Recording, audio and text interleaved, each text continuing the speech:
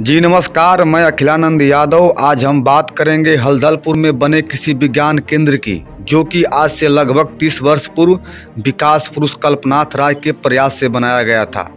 आपको बता दें कि यह कृषि विज्ञान केंद्र अपने मूल उद्देश्यों से भटककर सिर्फ़ कुछ बड़े और चुनिंदा किसानों के लिए ही कार्य करता है। प्राप्त जानकारी और प्राप्त तस्वीर के अनुसार, हाल ही के दिनों में कृषि विज्ञान केंद्र के परिसर में खड़े दर्जनों हरे भरे स्वस्थ पेड़ों को वन विभाग की अनुमति के बगैर ही कटवा दिया गया है, जो कि पर्यावरण के नियमों के खिलाफ है। जब कृषि विज्ञान केंद्र जैसी बड़ी और जिम्मेदार संस्था द्वारा इस प्रकार का कुकृत किया जाएगा तो भला आम लोगों में क्या संदेश पहुंचेगा? आइए दिखाते हैं संजय यादव की एक रिपोर्ट।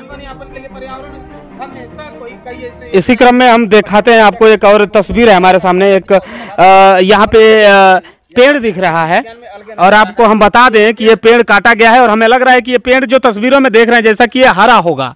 और आपको हम बता दूँ कि हरा पेड़ काटने का अधिकार पर्यावरण के हिसाब से तो बिल्कुल नहीं होना चाहिए और ज़रूरत भी नहीं है इस पेड़ को काटने की, हमें नहीं लगता, क्योंकि यहाँ पे जो जगह है, आप जगह दिखाइए, इस पेड़ से हमें नहीं लगता कि कोई भी नुकसान नहीं है। अगर ये पेड़ पर्यावरण के लिए सही नहीं है तो फिर गलत काहे है? क्योंकि वैसे भी इस जगह का कोई इस्तेमाल नहीं है। वैसे भी ये कबाड़ खाना बना हुआ है। आप ऐसा भी नहीं कह सकते कि इस पेड़ की वजह से लोग आ नहीं पा रहे थे, किसानों की हम ट्रेनिंग नहीं करा पा रहे थे। तो कहीं ना कहीं ये शासन प्रशासन के जो लोग हैं, जो यहाँ के जिम्मेदार लोग हैं, वो कहीं ना कहीं जो प्रभारी हैं यहाँ के, जिनको ज़िम्मेदारी दी गई है, इस विज्ञान केंद्र का वो कहीं ना कहीं कुछ तो मिली भगत है और कुछ ना कुछ तो होगा। अब उनसे हम पूछेंगे, सवाल करेंगे कि इस हरे पेड़ को आखिरकार काटा क्यों? ज़रूरत क्या आयान थी? क्योंकि यहाँ पे कोई ऐसा हमें नहीं लग रहा है, जब ऐसे ही ये कबाड़ा बना हुआ है तो हमें ये नहीं लग रहा है कि इस पेड़ को काट के कौन सा तीर मार लेंगे या विज्ञान केंद्र और यहाँ पे तो इस चीज़ के लिए विज्ञान केंद्र बनाया गया है कि यहाँ पे हरियाली बनी रहे या और वही चीज़ लोगों को दिखाया जाए, वही चीज़ किसानों को दिखाया जाए कि भैया ये पेड़ लगाओ, हरियाली बचाओ। और पर्यावरण बचाओगे तो कहीं ना कहीं समाज में अच्छा मैसेज जाएगा। और लोगों का जीवन यापन के लिए पर्यावरण, हमेशा कोई, कई ऐसे योजनाएँ हैं। प्रधानमंत्री का कार्यक्रम है, मुख्यमंत्री का कार्यक्रम है कि पौधे लगाते रहो। मगर ये देखिए, यहाँ पे किसी विज्ञान में अलगे नज़ारा है कि यहाँ पेड़ काटते रहो और ज़मीन को एकदम साफ़ रखो। तो ज़मीन भी नहीं साफ़ है। पेड़ तो साफ़ हो चुका है यहाँ से। अब बात करेंगे हम जो इनके प्रभारी हैं, मगर आप तस्वीरों में दुर्दशा देखकर आप आकलन कर सकते हैं कि जहाँ की कृषि कृषि विज्ञान केंद्र पे जब ये हालत है तो यहाँ के किसानों की क्या हालत होगी? अब तस्वीरें बताने में काफ़ी हमको बताना, ज़्यादा मैं क्या बताऊँ, आप खुद आकलन कर सकते हैं और खुद सोच सकते हैं। आइए जो जिम्मेदार हैं उनसे बात करते हैं और जानते हैं कि जो ये दुर्दशा है, वो काहें है? अभी तक इसका उतना उपेक्षित हुआ होता रहा है तो आखिरकार काहें होता रहा है? ये आ रहा है बार बार कि यहाँ से हरे पौधों की कटाई हो रही है। रीजन क्या है पेड़ जो कट रहे हैं? हरे पौधे पौधे हरे ही होते हैं लेकिन अगर वो पौधे झाड़ी हैं तो उनको साफ़ करना आवश्यक होता है। जो पौधे फलदार हैं आप देख रहे हैं वो सब उसके प्रभाव में आकर के खत्म हो रहे थे।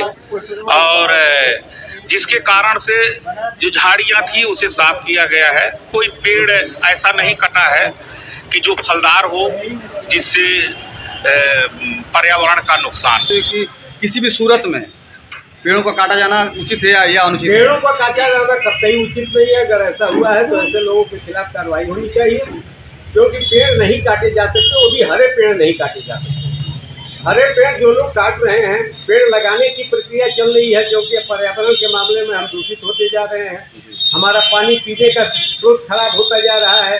हमारा पर्यावरण के खराब होने की वजह से हम लोगों के तमाम तरह की बीमारियाँ पैदा होती है। इसलिए पेड़ को लगाए जाने के लिए बढ़ावा दिया जाना चाहिए। हरे पेड़ों को काटा जाना उचित नहीं है। यही निकला है कि भाई बहुत पेड़ काटा गया है यहाँ। कृषि विज्ञान केंद्र पर। विज्ञान केंद्र पर। जी।